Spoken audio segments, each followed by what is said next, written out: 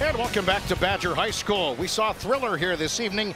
Badger outlasts Mathews by a final score of 47 to 46. Chad Krispinsky back with you, so pleased to be joined by the head coach of the Badger Braves, Josh Upshire. And coach, congratulations. I know what this game in particular means to the entire program and to you and your players and all the fans who packed into this gym.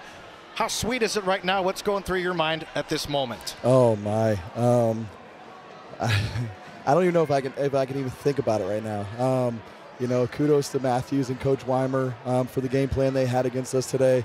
Um, you know, they, they were able to shut us down there. Um, you know, we had 47 points. We're averaging about 67 a game. So um, kudos to them. Um, you know, this crowd was electrifying tonight.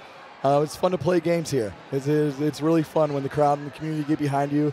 It's electric, and, uh, it, and it was exciting it comes down to the final seconds. What's going through your mind in that last sequence? Uh, three free throw attempts. He misses the last one. What's going through your mind as the clock hit all zeros? Boxed out and rebound.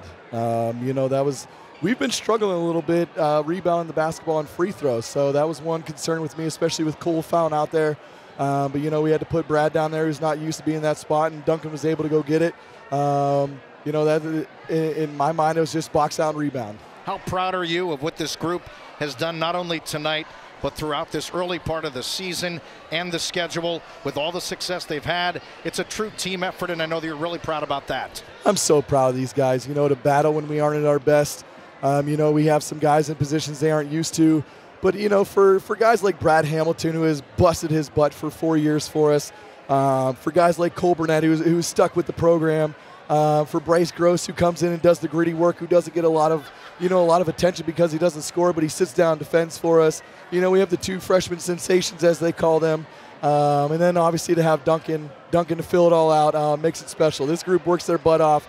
I can't be any prouder of this group and uh, in this community and, and how they back us. How high are your hopes for what all of this group together collectively will be able to do when it's all said and done?